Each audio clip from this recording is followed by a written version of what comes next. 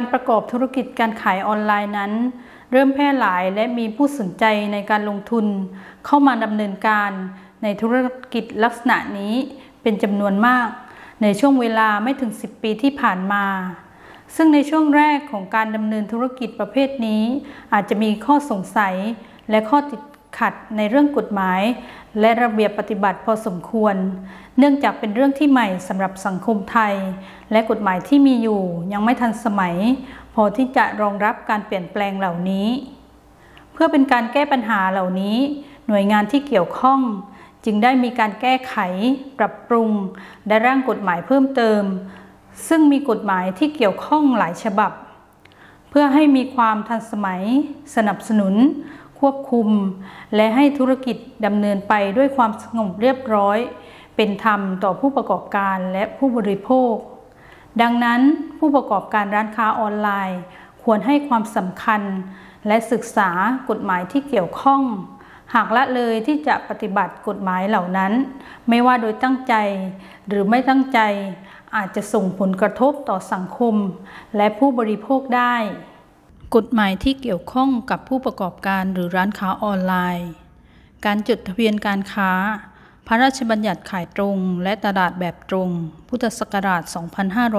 2545 กำหนดให้ผู้ประกอบธุรกิจขายสินค้าทางออนไลน์ ที่เข้าข่ายตลาดแบบตรง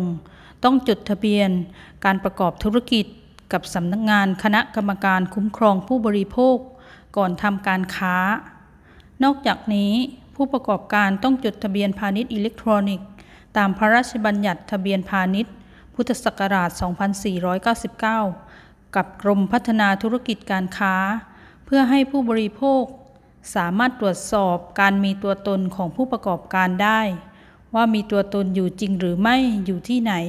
ทำธุรกิจอะไรบ้าง กฎหมายเกี่ยวกับตัวสินค้า พระราชบัญญัติว่าด้วยราคาสินค้าและบริการ พุทธศักราช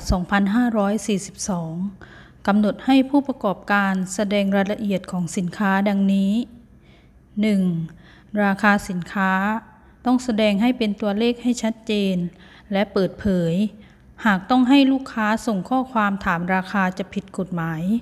รวมทั้งราคาที่แสดงต้องตรงกับราคาที่จำหน่ายจริง 2. ค่าใช้จ่ายอื่นๆ เช่น ค่าขนส่ง ค่าบริการอื่นที่เกี่ยวข้อง ต้องแสดงให้ชัดเจนและเปิดเผย 3. รายละเอียดสินค้า ต้องแสดงรายละเอียดประเภท ชนิด ลักษณะ ขนาด น้ำหนัก และรายละเอียดอื่นของสินค้าให้ชัดเจน โดยแสดงรายละเอียดเป็นภาษาไทย และอาจมีภาษาอื่นร่วมด้วยก็ได้ กฎหมายเกี่ยวกับการโฆษณา พระราชบัญญัติคุ้มครองผู้บริโภค พุทธศักราช 2522 มาตรา 22 ได้กำหนดหลักเกณฑ์ในการโฆษณาไว้ว่า การโฆษณาจะต้องไม่ใช้ข้อความที่เป็นการไม่เป็นธรรมต่อผู้บริโภค หรือใช้ข้อความที่อาจก่อให้เกิดผลเสียต่อสังคมเป็นส่วนรวม ซึ่งมีลักษณะดังนี้ 1. ข้อความที่เป็นเท็จหรือเกินความจริง 2. ข้อความที่ก่อให้เกิดความเข้าใจผิด ในสาระสำคัญ เกี่ยวกับสินค้าหรือบริการ ไม่ว่าจะกระทำโดยใช้ หรืออ้างอิงรายงานทางวิชาการ สถิติ หรือสิ่งใดสิ่งหนึ่ง อันไม่เป็นความจริงหรือเกินความจริงหรือไม่ก็ตาม 3. ข้อความที่เป็นการสนับสนุนโดยตรงหรือทางอ้อม ให้มีการกระทำผิดกฎหมาย หรือศีลธรรม หรือนำไปสู่ความเสื่อมเสียในวัฒนธรรมของชาติ 4. ข้อความที่จะทำให้เกิดความแตกแยก หรือเสื่อมเสีย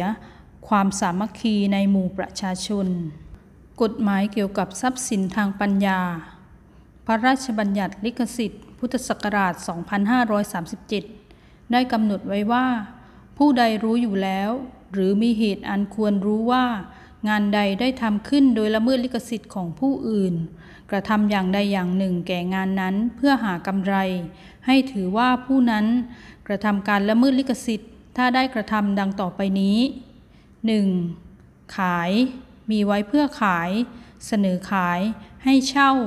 เสนอให้เช่า ให้เช่าซื้อ หรือเสนอให้เช่าซื้อ 2. เผยแพร่ต่อสาธารณชน 3. แจกจ่ายในลักษณะที่อาจให้เกิดความเสียหายแก่เจ้าของลิขสิทธิ์ 4. นำหรือสั่งเข้ามาในราชอาณาจักร กฎหมายอื่นๆ เช่น กฎหมายด้านมาตรการความปลอดภัย ป้องกันอาชญากรรมหรือการช่อโกง ได้แก่ พระราชบัญญัติธุรกรรมทางอิเล็กทรอนิกส์ พุทธศักราช 2544 แก้ไข พุทธศักราช 2551 พระราชบัญญัติการกระทำผิดเกี่ยวกับคอมพิวเตอร์ พุทธศักราช 2550 แก้ไขเพิ่มเติม พุทธศักราช 2560 กฎหมายด้านคุ้มครองผู้บริโภค ได้แก่ พระราชบัญญัติคุ้มครองผู้บริโภค พุทธศักราช 2522 พระราชบัญญัติคุ้มครองข้อมูลส่วนบุคคล พุทธศักราช 2562